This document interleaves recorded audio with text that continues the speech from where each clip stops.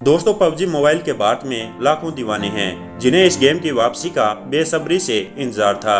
इन लाखों लोगों का इंतज़ार अब बहुत ही जल्द खत्म होने वाला है। ये गेम अब नए अवतार बैटल ग्राउंड मोबाइल इंडिया के नाम से भारत में वापसी करने जा रहा है। दक्षिण कोरियाई गेम डेवलपर्स कंपनी क्रोप्टन ने बैटल ग्राउंड मोबाइल इंडिया के प्री रजिस्ट्रेशन की तारीख का ऐलान कर दिया है। गेम के लिए प्री रजिस्ट्रेशन 18 मई को गूगल प्ले स्टोर पर लाइव होगा। गेम कब रिलीज़ होगा, इसको लेकर फ़िलहाल कोई जानकारी नहीं दी गई है।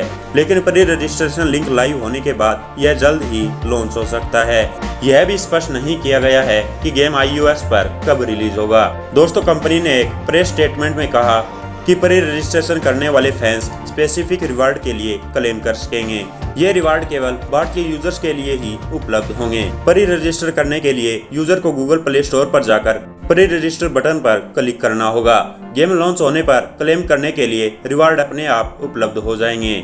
पबजी मोबाइल की तरह ही यह गेम भी सभी यूज़र्स के लिए खेलने में फ्री होगा। कंपनी ने कहा है कि डेटा सिक्योरिटी और प्राइवेसी का इस बार खास ख्याल रखा जाएगा। क्रोफ्टन ने कहा है कि इस बार यूज़र्स का डेटा देश में स्टोर किया जाएगा। साथ ही इस बार लो रेगुलेशन का भी ध्यान रखा जाएगा। कंपनी इस गेम के बाद अन्य गेम ऐप भी लॉन्च करेगी, जो इस समय भारत में अवेलेबल नहीं है। क्रोफ्टन के मुताबिक 18 साल के कम उम्र के गेम लवर्स के लिए इस बार नियम थोड़े सख्त होंगे। Battle ground mobile India game खेलने के लिए उन्हें पेरेंट्स की परमिशन की ज़रूरत होगी।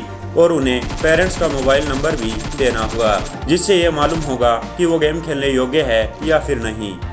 तो दोस्तों, आज की वीडियो में बस इतना ही। हमारी जानकारी आपको कैसी लगी कमेंट सेक्शन में ज़रूर बताएँ। और ऐसी इंटरेस्टिंग वीडियोस के लिए हमारे YouTube channel Daily Dose PK को सब्सक्राइब करें।